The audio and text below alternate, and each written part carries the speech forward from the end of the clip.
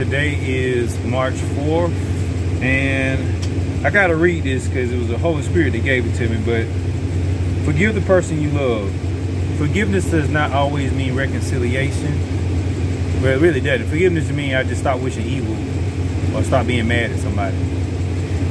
Uh, it doesn't mean you forget, but anyway, forgive the person you love. So let's think about relationships.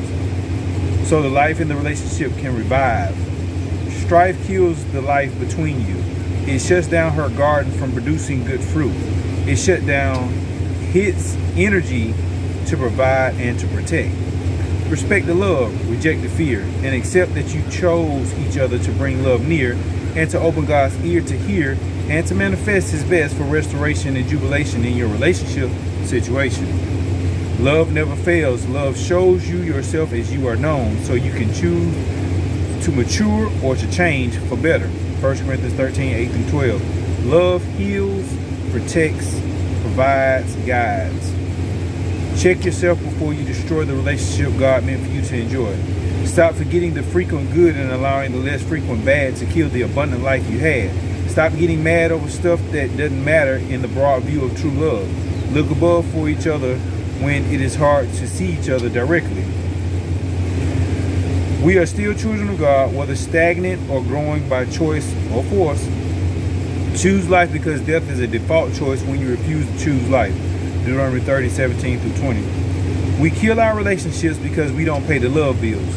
The love debt creates regret and overwhelms us as we get upset because we never knew to be true lovers. Thus, we smother each other. Thus, the lust fades and we throw the shade and cast shadows over tomorrow's promise of brighter days when we could just forgive to live and reconcile even if it takes a while. Take the time to heal. Be healed so you can be whole and complete each other and hold each other as God fills those holes leaking out the love. 1 John 4, 11 through 12 says, New International Version, Dear friends, since God so loved us, we also ought to love one another.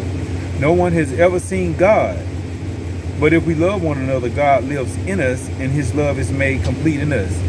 So let God love through you.